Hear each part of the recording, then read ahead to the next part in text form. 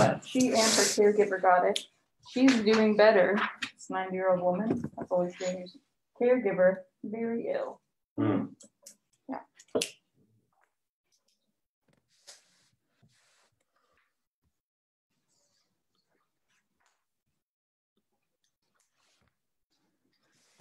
Okay, everybody, welcome to Bible study on the second Sunday of Epiphany, uh, Sunday, January 17th.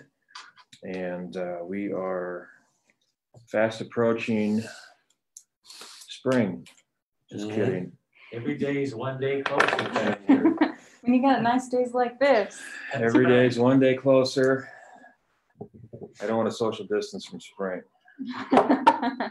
One day closer to spring, one day closer to Jesus' return. Well, let's, uh, I have the prayer of the day here on the sheet. Let's start with the prayer of the day. Thanks be to you, Lord Jesus Christ, most merciful Redeemer, for the countless blessings and benefits you give. May we know you more clearly, love you more dearly, and follow you more nearly, day by day, praising you with the Father and the Holy Spirit, one God, now and forever. Amen. See, day by day, Yeah, day by day. Day I by got day. pretty poetic in my poem. Um, this is, this is a great Samuel text, uh, as I mentioned in the newsletter. Um, and the call of Samuel. And I think it's too bad we don't get to read the whole, the whole story, but we're gonna read. It says, it says First Samuel three through ten, but let's go ahead and read three through, through twenty, and I'll, I'll go ahead and get us started here. Now, when the boy Samuel was ministering to the Lord Eli, the word of the Lord was rare in those days, visions were not widespread. At that time, Eli, whose eyesight had begun to grow dim so that he could not see, was lying down in his room. The lamp of God had not yet gone out, and Samuel was lying down in the temple of the Lord, where the ark of God was. Then the Lord called, Samuel, Samuel. He said, Here I am and ran to Eli and said, Here I am, for you called me. But he said, I did not call, lie down again. So he went and lay down. The Lord called again, Samuel. Samuel got up and went to Eli and said, Here I am, for I called you. But he said, I did not call my son, lie down again. Now Samuel did not yet know the Lord, and the word of the Lord had not yet been revealed to him. The Lord called Samuel again a third time.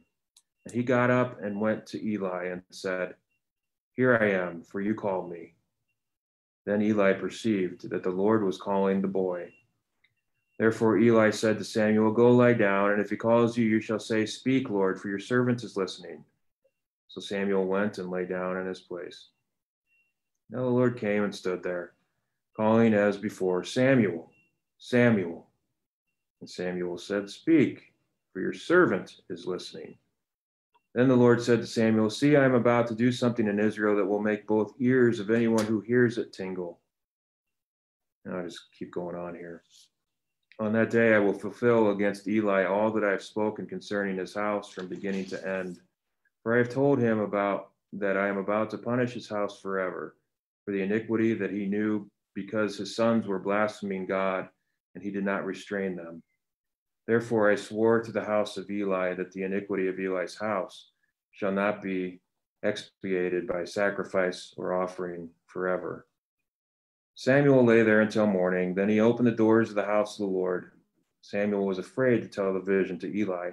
But Eli called Samuel and said, Samuel, my son. He said, Here I am. Eli said, What is it that he told you? Do not hide it from me. May God do so to you and more also if you hide anything from me all of all that he told you. So Samuel told him everything and hid nothing from him. Then he said, It is the Lord. Let him do what seems good to him. As Samuel grew up, the Lord was with him and let none of his words fall to the ground. And all Israel from Dan to Beersheba knew that Samuel was a trustworthy prophet, prophet of the Lord. I don't know why the lectionary cuts it off at verse 10 because You kind of get the real meaning of it.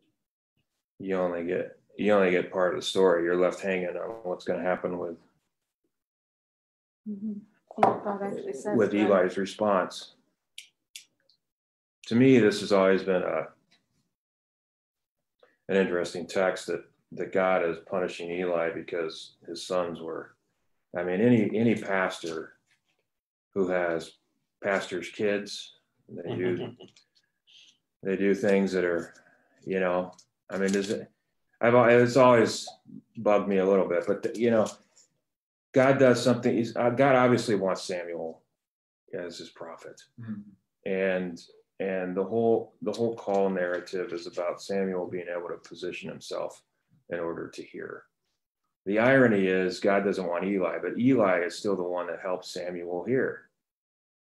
And Samuel will interpret what God is saying. So in a way, Eli is still being faithful to to God's voice, wh- wh- which you know, to me, it's like that doesn't seem fair to Eli that he gets pushed aside, but that's what what God wanted.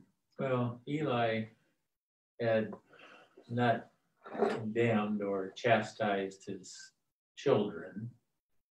Uh, But the, the scary part of it is when God said, doesn't matter what Eli does, I'm never gonna forgive him.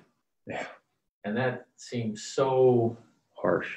harsh and, and ungodlike hmm because you know everything we read about our God is that he's a forgiving God hmm and and a loving God. Now it you can read this that it doesn't really say he's not going to forgive Eli. He's not going to forgive Eli's household. So and uh, And that was part of Jewish custom too. I mean, yeah, when when a son did something, it brought shame upon the whole the Yeah. generations. and you know the the sins of the father to the seventh generation you know and it, it uh thank thank god for jesus So what do you what do you make of the fact that um, now verse seven? Now Samuel did not yet know the Lord, and the word of the Lord had not yet been revealed to him. But yet God still is persisting that Samuel will be the prophet. I mean, to me, to me, that's really interesting. Um, he's going to call Samuel. It's not based on knowing yet. It's based on something entirely different, perhaps. And I, you know, the same thing happens kind of with David. Yeah, I think it's also following the like last week with the baptism of Jesus. We talked a lot about right after Jesus was baptized, this spirit who came down and made this big proclamation threw him in the wilderness. Right. So it's like once you're called, it's not easier after that. Yeah. So the, the first call, the first message Samuel ever has to deliver is not an easy one. And so it's just another exam- example of like accepting the call and then it's a really hard call, but God is with you. Well, I'm also wondering if if God has higher expectations of those who know him than he does of those who do not. Because Eli obviously knew him and Samuel did not. So well samuel was really a you know a gift from god to hannah who prayed and had faith in god and mhm. So, in one sense, God is taking care of his own gift to the world. And and see, as you pointed out, you know, there's David, you know, there's Mary, there's there's many people that God picks for some reason to to shine on and to you know, dwell in. Mhm. Yeah, so uh, this, the context of this story falls in the, the call story in John 1 of uh, Andrew and Peter um, who find Philip and uh, and invite him to to be a disciple to come and see. Mhm.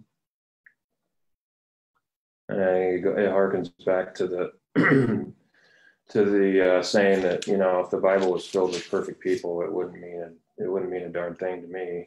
Uh, you know, I wouldn't be able to relate to it, and because Samuel, I mean, yeah, God chooses people that that are not perfect and have and have flaws. And it goes to show us that uh, it's never too late in our life. And also, it doesn't matter what we've done, we can be forgiven if we truly ask God and truly repent for things that we've done. Yeah. Or anything else you want to lift up from First Samuel? Is is does Eli have more history before this story? Do we hear what his life as a prophet was like? It almost feels like that maybe like Eli Eli knew this was coming. Eli doesn't seem surprised to me that God is giving him this message through Samuel. Well, his, you know, Yeah, if you read chapter two, it's obvious Yeah. that he knows, that because he does, he, he does rebuke his sons, but he, uh, but they don't listen to him, and, uh, that, uh, so he, yeah, he was aware of what was going Yeah. on. I feel like God had probably given him a lot of warnings before this one. The other thing I, I think is peculiar peculiar is the fact that he comes at night. and he comes he comes when Samuel settled down um, for the evening. Uh, you know, if you know anything about children, which we all do, you know, it's not until they settle down that you're able to to really get through to them. And uh, And then, I mean, the world, especially back then, was a much quieter place at night. it is And, uh, or even in our, our own households. You know, it, it's usually the calm, calmness where it's much easier to, to communicate. I also wonder too if God is is not saying to Eli, you know, it makes a point of saying Eli, whose eyesight had begun to grow dim, so that he could not see. Um, if that had anything to do with with what was going on, or if even that was a metaphor for um, faith.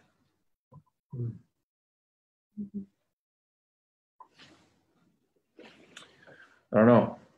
Yeah.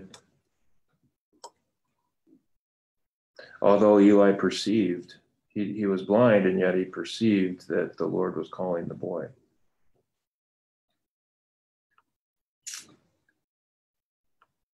Well, Psalm 139. I can read that. Lord, you have searched me out. O Lord, you have known me. You kn- know my sitting down and my rising up. You discern my thoughts from afar. You trace my journeys and my resting places and are acquainted with all my ways. Indeed, there is not a word on my lips, but you, O Lord, know it altogether. You encompass me behind and before, and lay your hand upon me.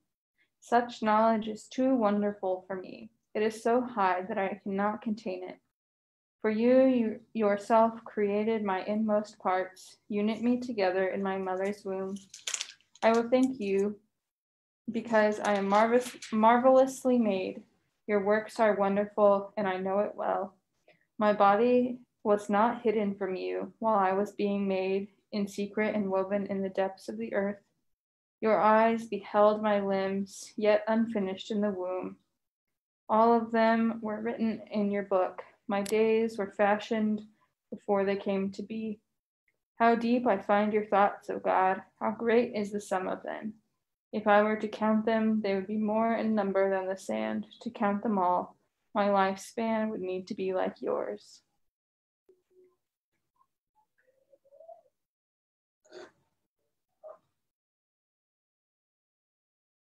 It's almost like the psalmist is is reflecting on the complexity of of his own of his own life and his own physical body. Well, that, that's what I find so marvelous about this passage is that you can read it and it means it to you, and I can read it and it means it to me.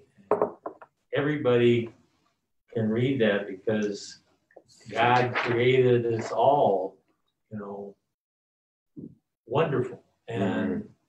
the way He wanted us to be created for for some reason. And it's it's so amazing that you know we're all created so differently, but yet we're a magnificent work of, of God's hand. Mm-hmm. So. Yeah, there's nothing. I don't know about biologically speaking in the world, but I don't think there's anything more more complex, biologically speaking, than the human body in this world. I mean, there's there's a lot of amazing things that God has created, but biologically speaking, the human body is probably one of the most complex organisms that there that there is on planet Earth. Mm-hmm.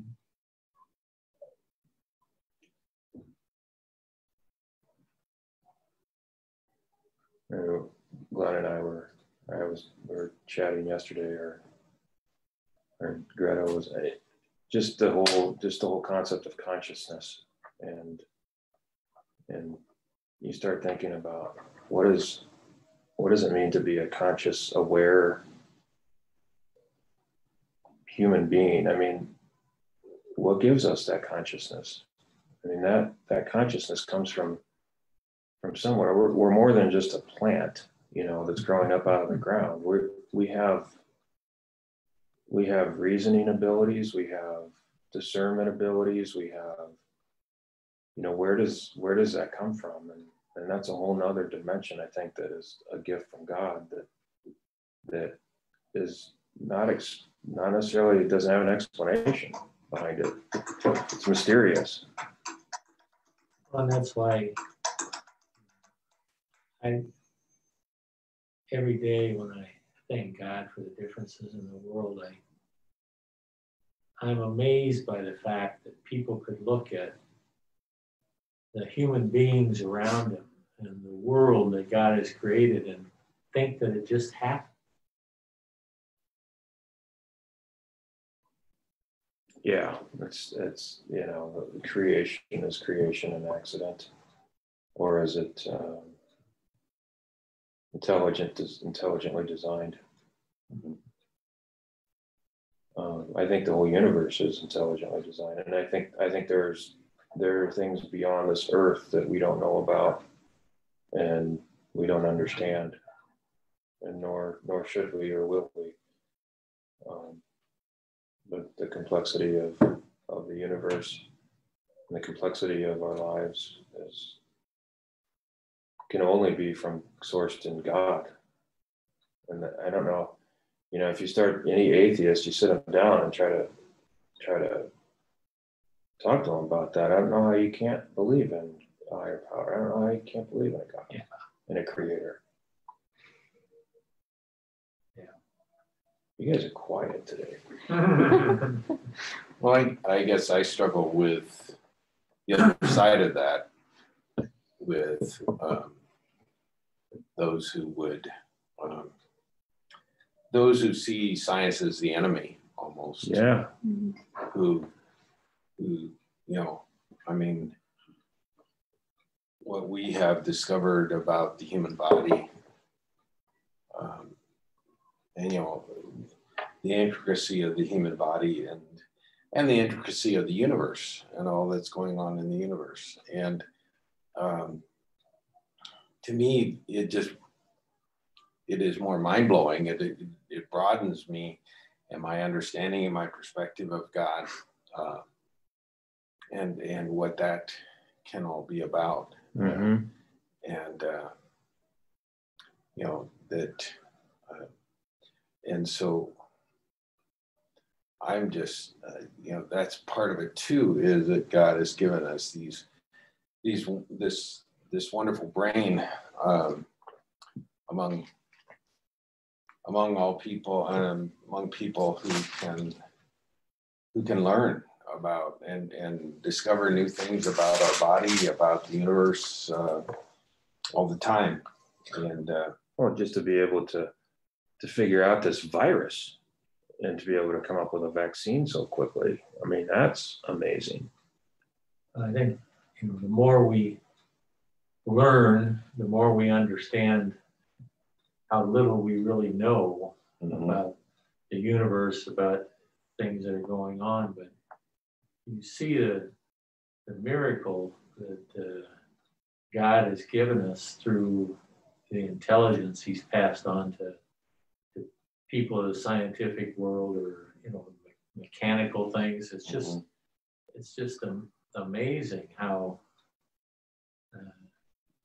you know the, the world is changing and changing so rapidly because we're we're learning more and more all the time. I don't really see the animosity from Christians towards scientists as I see it the other way around. You know? I see it both ways. Yeah. I've heard of it. I, I hear it both ways, Rod. And, and uh, you know, I, I, I have, you know, I don't understand scientists either. I mean, I know a lot of scientists who, who, you know, their work and their research deepens their faith. Not, right. You know, and so, um, we have Carl Sagan, for example, who was I don't know if he was a full full blown atheist, but he he's certainly and then and then Stephen Hawking, but in you know a brief history of time, you know, in the preface of his book, he he writes about you know physicists can explain the how, they can't explain the why, mm-hmm.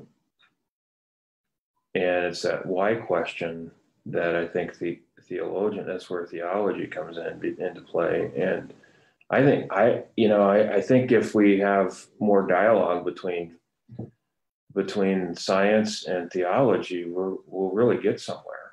Um, and I think we can really, you know, enlighten the world a lot, a lot better if the two would play nicely together. Wouldn't this be a great world if we all played nicely together? Yeah. so, I mean, and I guess that's the other thing when, you know, and just how we talk about this and, and because I listened to a show or read about, uh, read about, uh, you know, that the, part of the reason that this virus, I mean, that the vaccine was able to be developed so quickly is that there's been research going on with these RNA, um, developing RNA vaccines and how we can do this for three, four years at least. Mm-hmm. And um, and again, the the remark, you know, how remarkable is it that that was going on even before this pandemic hit? Yeah, well, you know that that's the part that astounds me is here there were people and they were they were getting no recognition at all for what they were doing. They were doing this remarkable research and getting no research, you know, getting the little or no recognition for it. And then all of a sudden they're, uh, you know, well, just thrown into the middle of it. And uh, you know that that was going on. Look at the technology changes that we had, you know, setting us up for this. The, the wonders of Zoom mm-hmm. and you know things like that. Can you imagine what this pandemic would have done to the world without Zoom? From well, many of us were going crazy, but because of Zoom, we could at least communicate. And we, you know, we have family meetings over Zoom, which you know, doesn't make us feel near as isolated as it, it would have without that. I mean, you just calling somebody on the phone and talking to them, you know, helps you connect, but being able to see them, uh, so, you know, this this pandemic was one of the evils of the sinful world, but God helped us get through it with, you know, the technology that was prepared for us before it. Mhm. And as you said, the, the scientific, you know, uh, things that were going on to help us be prepared to come up with something quickly to, uh, to help us get through that. Right. Yeah. For sure. Jump to First Corinthians twelve. Here, I can read that. Paul's letter to the Corinthians, chapter, first letter, chapter six. All things are lawful for me, but not all things are beneficial. All things are lawful for me, but I will not be dominated by anything. Food is meant for the stomach, and the stomach for food, and God will destroy both one and the other. The body is meant not for fornication, but for the Lord and the Lord for the body. And God raised the Lord and will also raise us by his power. Do you not know that your bodies are members of Christ? Should I therefore take the members of Christ and make them members of a prostitute? Never. Do you not know that whoever is united to a prostitute becomes one body with her? For it is said, the two shall be made one flesh. But anyone united to the Lord becomes one spirit with him. Shun fornication. Every sin that a person commits is outside the body, but the fornicator sins against the body itself. Or do you not know that your body is a temple of the Holy Spirit within you, which you have from God, and that you are not your own? For you were bought with a price. Therefore, glorify God in your body. Is this, What do you, I, wanna- I, what do you want to know? I- well, How I, I. I just remember that, uh, and he had, he retired my, my junior year of seminary, my first year of seminary. But, and so I never got to hear this speech, but, uh, his, he was affectionately known as Uncle Dudley, and he was president E.C. Fendt of Oh, you, at Trinity Seminary. yeah, And yeah, I think if I told you know that he gave this um, before the seniors would graduate and go out um, go out on their first call. He was known for giving the giving his masturbators and fornicators speech to all the seniors. Cool. So every time I read this, you know, every time this comes up, I think of good old Uncle Dudley and. Oh, I would have got up and walked away. Well, I just, you know, this, this really, I think, speaks to what was going on in Corinth at the time. Right. I mean, Paul was Paul was speaking to these to these people. I mean, prostitution was pro, prostitution and gluttony were were two things that were not uncommon in Corinth.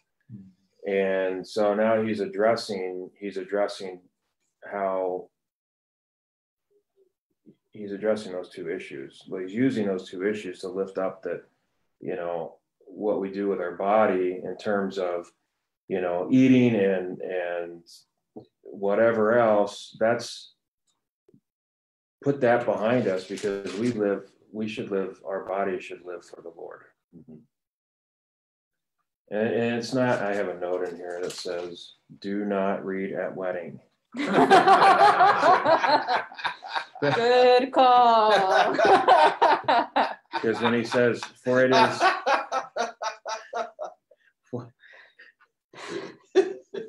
For it is said, the two shall be one flesh. He's not talking about a married couple. He's That's right. talking about some illicit uh, hookup here. And um, anyway, Well, I think, you know, and it just speaks, and it- it's one of the struggle of, you know, when we talk about diversity in our culture, uh, you know, because Corinth being a, a commercial crossroads of, of the Roman Empire, was had great diversity, and you had all these different religions uh, coming in and being coming into to Corinth, and and uh, you know, and, and, a lot of them were religions where uh, temple prostitution was common practice. Mm, of course, yeah, where um, that was how you uh, you know would guarantee fertility of uh, of the soil. I mean, it was a rule, common common rule uh, practice in, in in those kind of uh, rural religions. I mean, it was one of the reasons that um, you know the the the, the uh, temple Baal. I mean, in the in the struggle that the Israelites had against um, you know those who worship Baal in uh, in the Old Testament, and uh, so it was continued. Paul really frames this in the in verse twelve, um, yes. and he says, "But I will not be dominated by anything." That that word "dominated" is is a is um, a derivative of the word enslaved, mm-hmm. and and what Paul I think is saying is, I won't be dominated by the things that bring shame upon the body. I will be dominated by, and then he ends it with, for you were bought with a price, therefore glorify God in your body.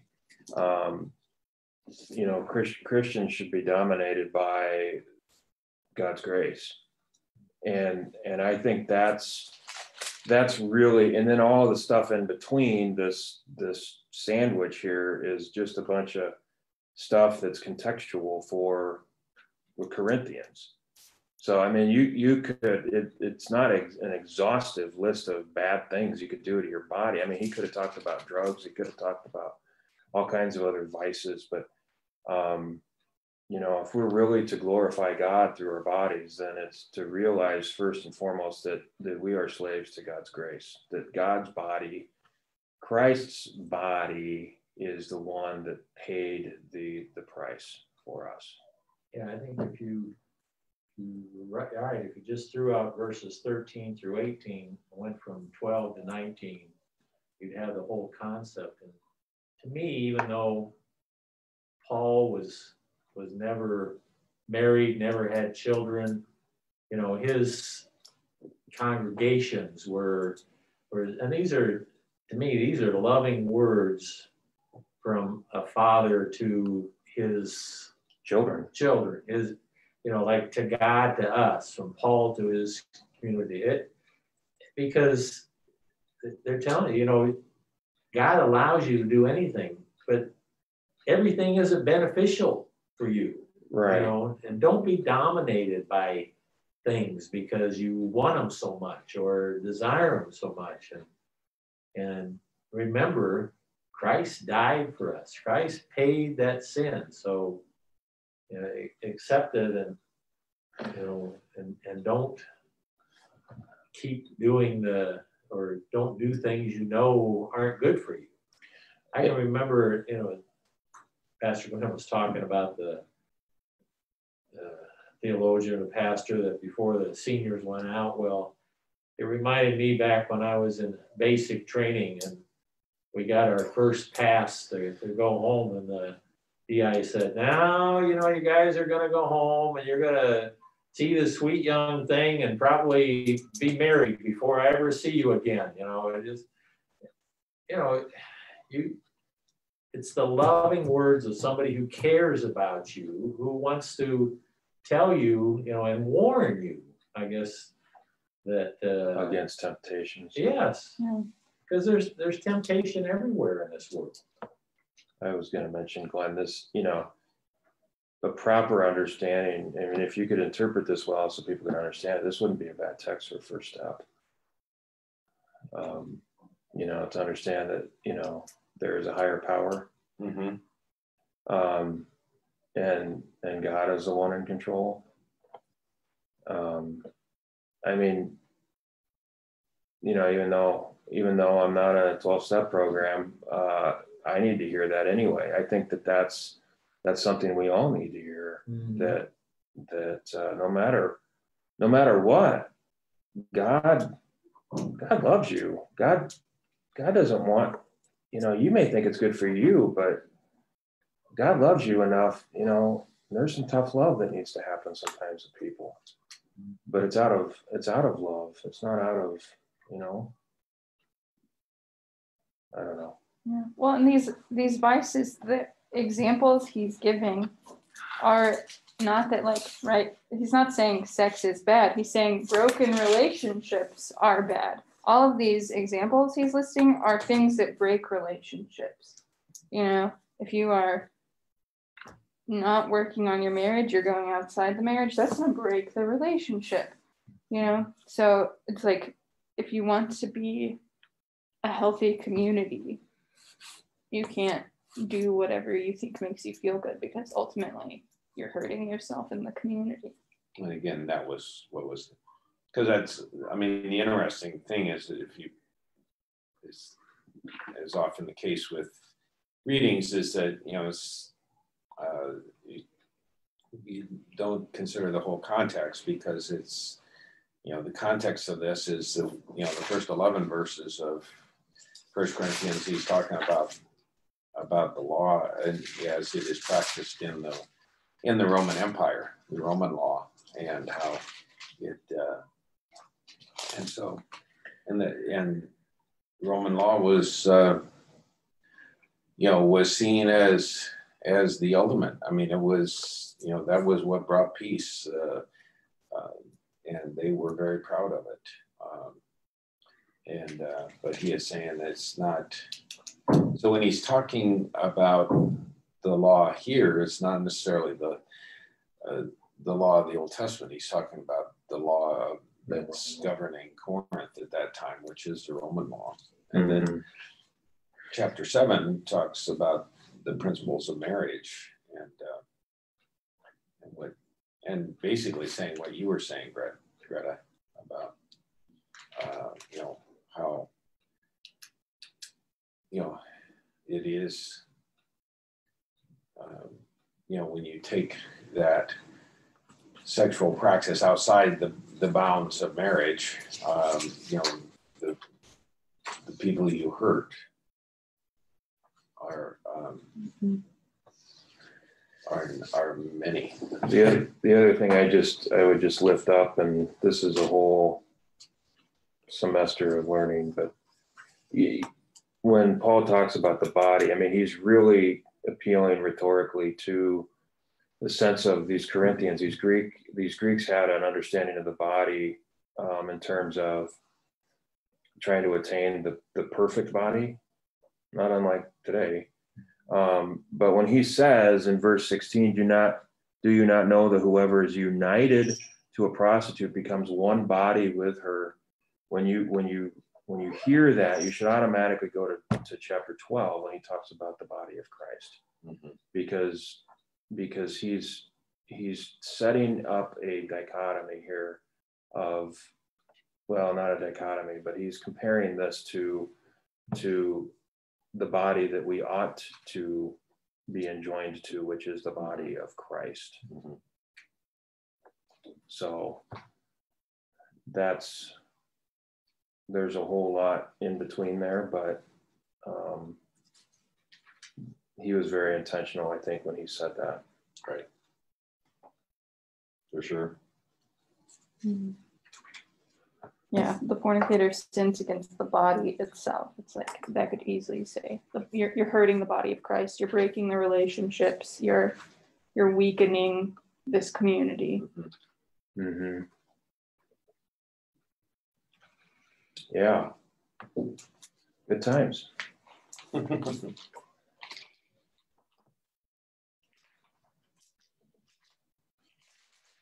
And this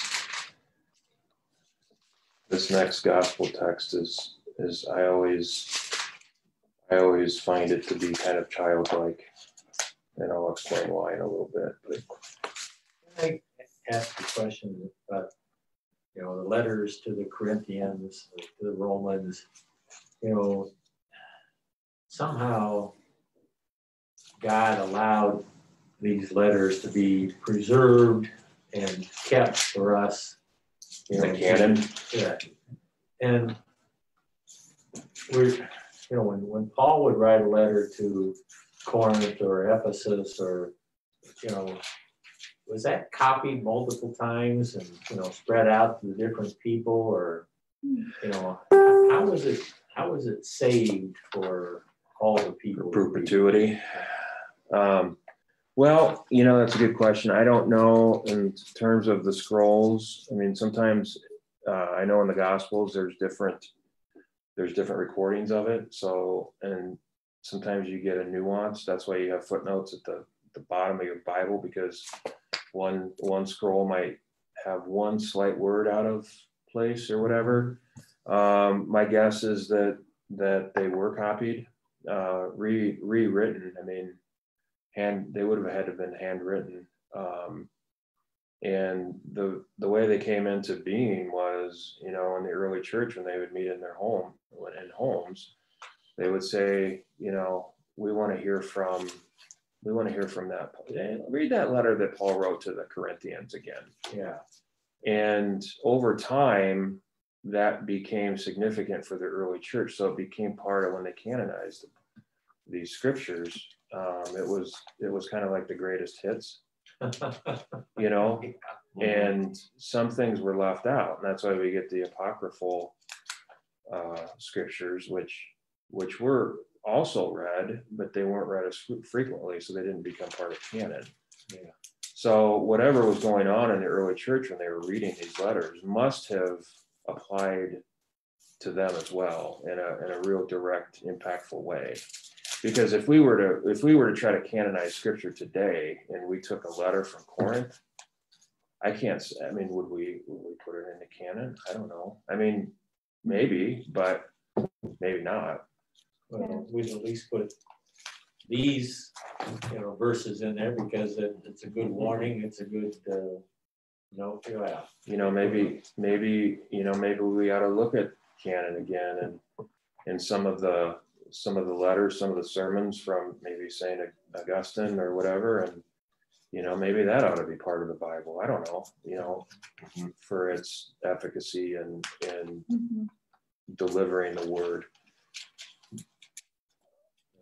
And, and that's why I think we refer to this as the living word because, um, you know, this is our guide.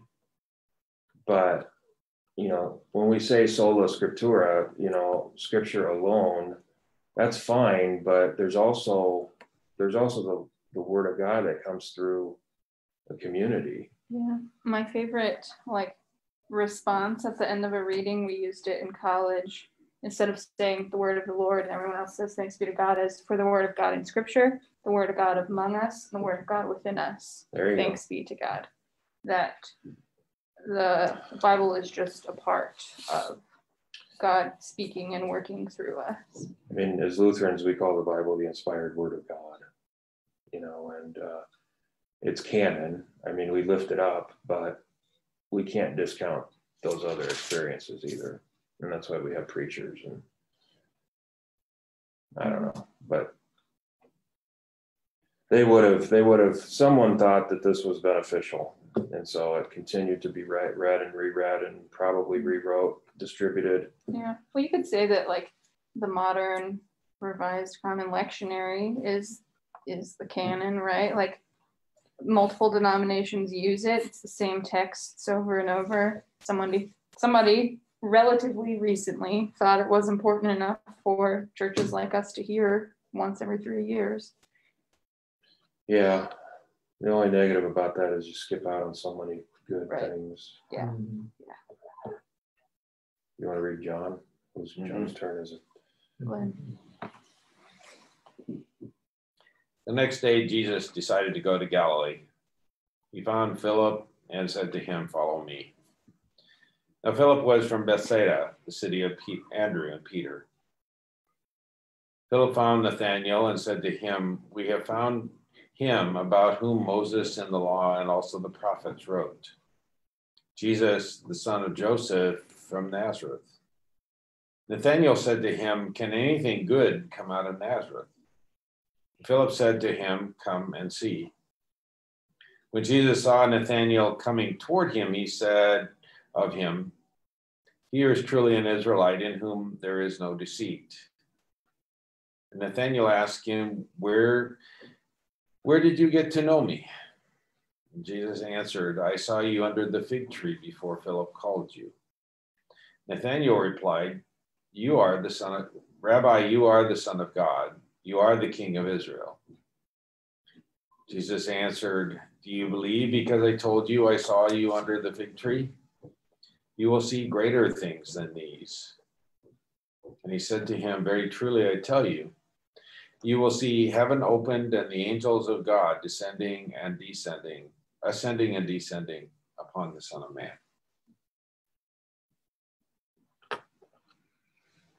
Every time I hear the story, I think of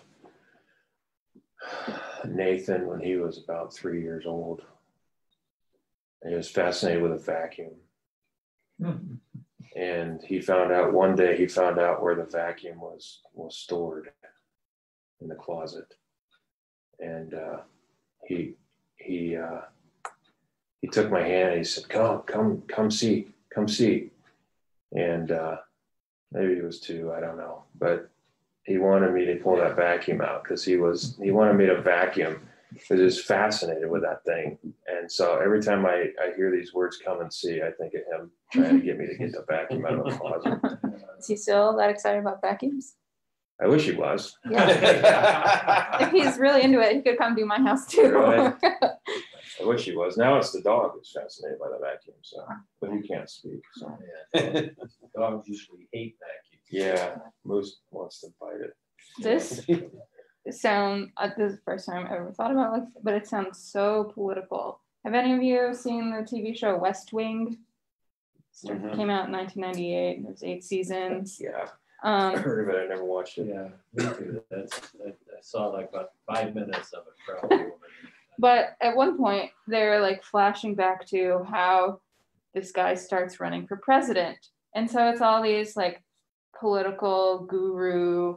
You know, they work on different people's campaigns and in different people's offices, and um, one of them's talking to his friend who's practicing at a law firm. He's like, Yeah, I'm going to go see this guy up in New Hampshire. I'll let you know if it's good. He goes, sees Jed Bartlet talking to like a senior center or something. He's flabbergasted in awe, like, This is the guy. This is the one we're going to pick. And so he goes back to his friend who's like in the middle of a meeting at the law office and he just knocks on the door. He's soaking wet in the rain. He's like, It's him. He's got it.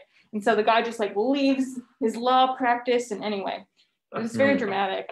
Um, but you know, I don't know who Philip and Nathaniel were, but that's sort of like we recognize that this guy has got something. We got to do it. Um, feel like because I constantly believe that Jesus' ministry was a movement. It was starting the social movement to make the change that the people were had been waiting for. You know, um, so like you know, there's politics in here of yeah, we think this guy could do it, and it, they didn't. You know, they learned and you know as jesus did miracles and stuff like recognized him as god. But i think at the beginning they just saw that he had this like political magnetism that could really do good work for this movement that they were all really had been waiting for. Hmm Yeah, you, well, I, I mean, that uh, Nathaniel would use that, I mean, um, I mean, it's a, a very uh, political thing and, and something that, you know, we know Herod uh, was, uh, you know, didn't appreciate someone being called the king of Israel. Um, Yeah. You know, um, Yeah, here or anyone who, Romans, anyone who had anything negative to say Yeah. about his regime. Yeah. You know, and, uh, can like this So, can yeah. anything good come out of nazareth that could be you know depending on where you're at can anything good come out of utah like why would we choose a guy from utah you know that that's sort of nazareth Yeah. doesn't have any clout why would we choose a guy from nazareth It's like when I went to college in Augustana, in Illinois, and uh, Rick, you're from Nebraska? Because most of those most of those students were from suburban Chicago. Mhm. Like you're from Nebraska? What, what's you you're from a farm? you, you you grow corn? I'm like, uh, no. Fortunately, in those years, Nebraska football team was was uh, domin, dominating. So I got I got to show them that there was more than just corn from Yeah. Nebraska. But I get a kick out of uh, Jesus saying, um, "Here is truly an Israelite in whom there is no deceit." Um, Israel was the after Jacob wrestled the angel of the Lord at Peniel, if you remember, and the angel struck him on the on the uh, hip Hip. socket, and he had a limp, and then he got renamed from Jacob to Israel. And if you know the story of Jacob, you know that Jacob stole the birthright from Esau. Mhm. He deceived he deceived his father and his brother, and uh, so Jesus is hearkening back to, you know, and I, I wonder if Jesus looks at all Israelites as potential deceivers. I mean, I just, why did he say that is kind of what, on the, on the other hand, it's a way of saying, here's an Israelite who's, who's honest and worthy of following me. or, or he he says it like he sees it or you know speaks honestly or Uh-huh. I just, it's just one of those things where what, what's, it's, a, I, I believe Jesus said that, but why is that here? Why, what's the purpose of this? Why did it get remembered? Right, it's, it, um.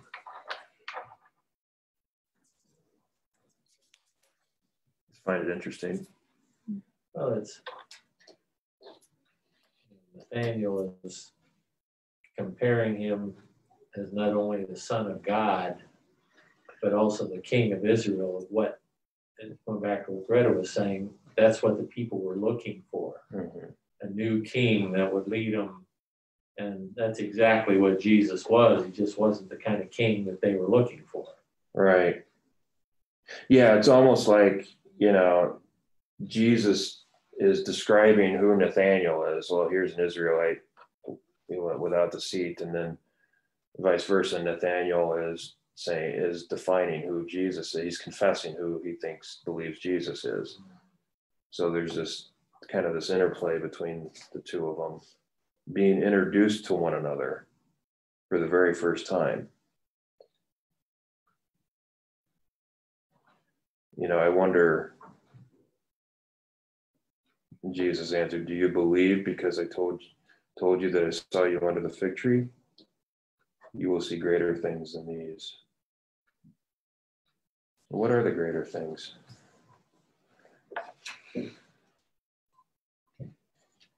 Well, I mean, it, he,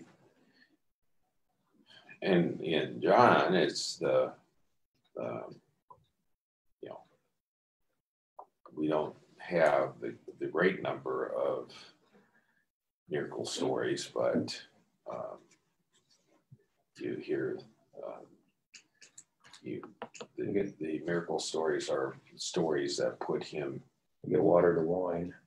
well, and, and yeah, the, the water to wine, uh, but the, the main miracle stories in John put you, put Jesus, he always put Jesus in conflict with the authorities. Yeah, You know, I mean, it, it was even, you know, even the feeding of the 5,000 uh, and people following him, you know, I mean, they, he asked them again the same question, basically the same question he's asking Nathaniel, you know, uh, or, or, you know, uh, you know, why are you, you following me because you, you, you're following me because I fed you and, and, you know, you got full.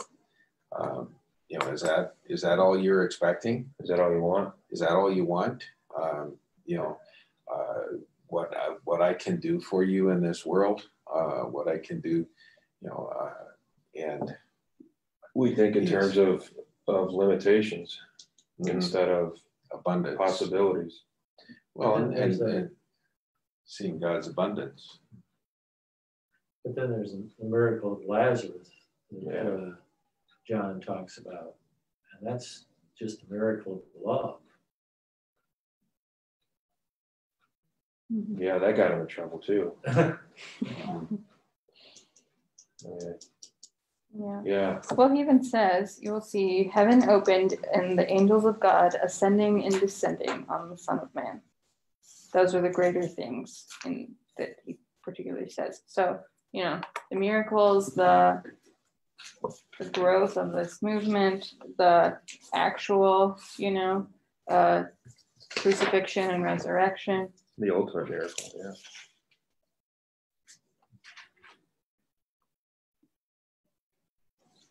Heaven opened and angels of God ascending and descending, ascending and descending. Mhm. Right, because There's- great. there's not a lot of angels mentioned post Mary and Joseph, right? In the Gospels, there's not a lot of angels appearing. Not until the, not until the empty tomb. Yeah. Right. Um, you know, I think to me, what that says is the, the boundary between God's kingdom and the earthly kingdom has been blasted wide open so that, that God can be, can be seen and revealed.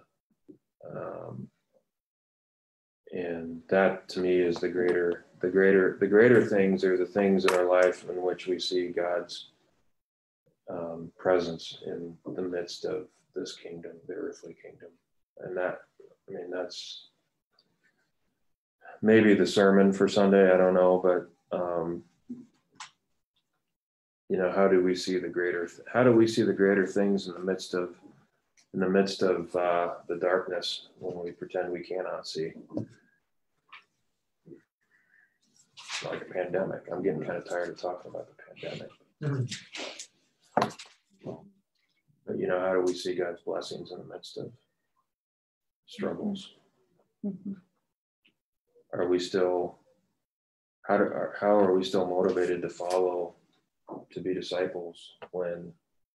Because I mean, these guys just dropped everything, these guys just left everything, like you were saying, Greta, it's a movement that was compelling enough for them to just get behind and what, you know, they didn't ask a lot of questions, right? Mhm.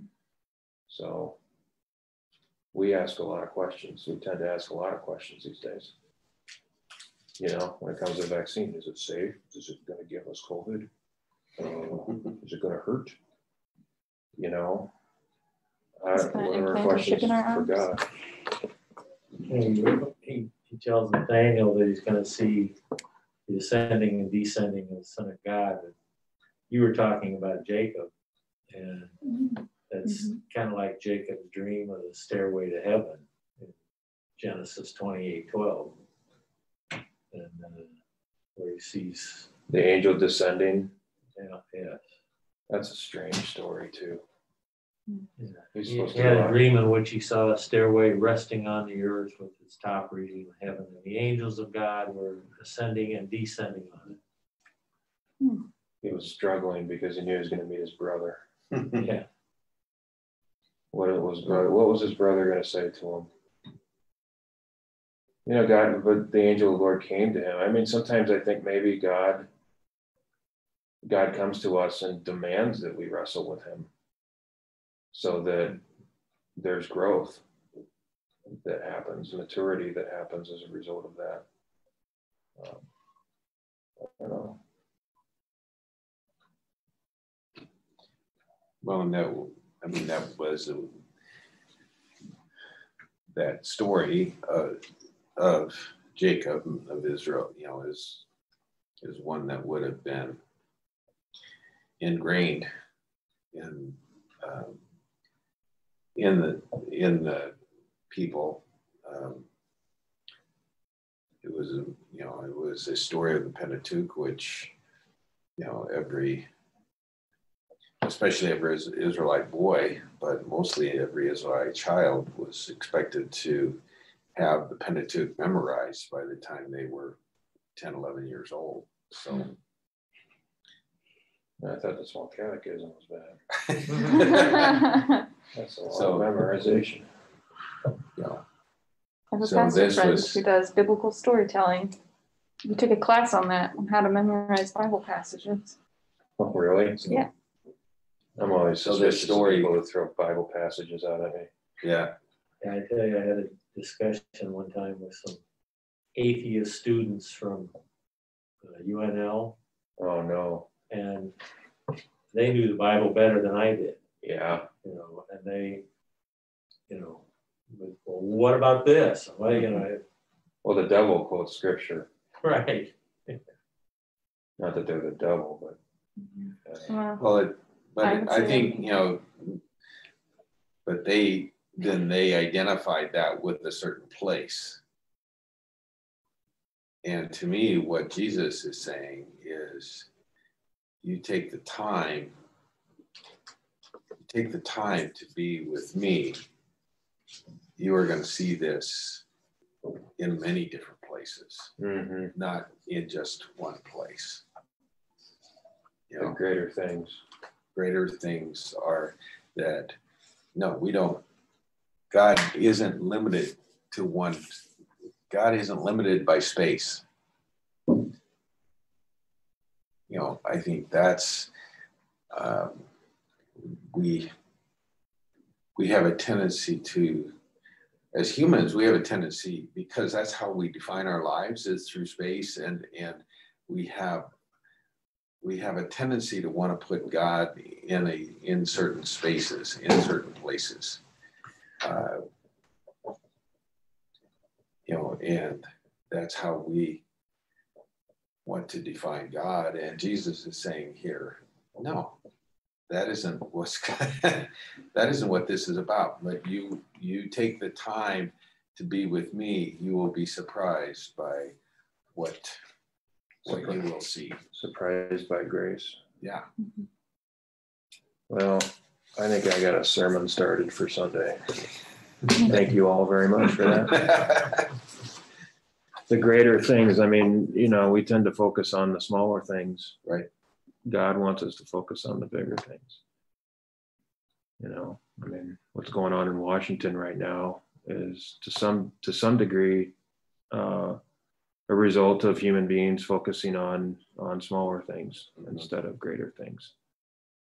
And uh, well, and, and many, uh, many people, it, it just shows that many people can be misguided by a charismatic personality. yeah, and you know, and and the power of somebody like that. And you know, and, and back in the, the day of Jesus, there were there were other charismatic personalities who came before Jesus, and John the Baptist was kind of one of them. right, only he pointed to the right thing. Right. And, you know, I, I can remember 10, 15 years ago, uh, ABC had a special on, on Jesus and it was, I thought, oh gee, this is gonna be an attempt to, you know, ruin it. But they, they pointed to the fact that he was the only one of all these charismatic people who uh, his following has kept today because, you know, things that he talked about really happened. And uh, Hmm. so it was, but I think of Jim Jones and that saying, drink the Kool-Aid. I mean, you know, a lot of people did and they, they paid a heavy price for it. yes, yeah. Well, good conversation. Uh, appreciate, appreciate your thoughts and your faith and those of you on Facebook Live, uh, greetings and uh, prayers, peace be with you and prayers for, for you as well. I, I would just, um, yeah, ask you to keep, uh, I, I talked to Rick yesterday, Rick Miller, and Rick had heard from Pastor Gail Madsen, and she's having a real, um, a real struggle right now because not only with her Parkinson's, um, Mm.